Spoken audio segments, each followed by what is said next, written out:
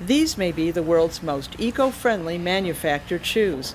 A San Francisco startup is using recycled plastic water bottles to create fashionable women's footwear called Rothy's. We sterilize those bottles, hot wash them, they get chipped into flake, and then they're extruded into a very soft filament fiber. Those fibers are placed into a 3D knitting machine designed to minimize waste during the shoe assembly. Then, the knitted fabric and insole are attached to the shoe's outer sole, made from responsibly sourced no carbon rubber. Rothy's are sold online. After American actress Gwyneth Paltrow discovered them last year, the demand for the shoes grew. We're not going to run out of water bottles anytime soon, so we've got an infinite supply of material, and I think that bodes well for our future.